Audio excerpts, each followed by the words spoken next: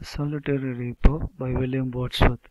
Behold her, single in the field, yon solitary Highland lost, reaping and singing by herself.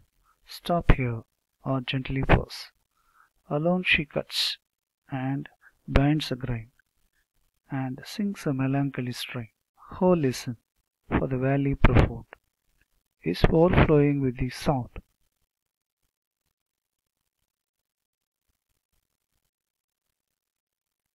No nightingale did ever chant more welcome notes to weary bands of travellers in some saddy haunt among Arabian sands. A voice so thrilling never was heard in springtime from the cuckoo bird, breaking the silence of the sea among the furthest Hebrides. Will no one tell me what she sings? Perhaps the plaintive numbers of flow, for old, unhappy, far off things, and battles long ago. Or is it a some, some more humble lay, a familiar matter of today?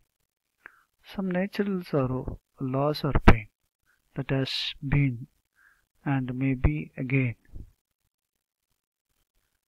Whatever the theme, the maiden sang as if as song could have no ending. I saw her singing at her work, and over the sickle bending. I listened, motionless and still, and as I mounted up the hill, the music in my heart I bore, long after it was heard no more.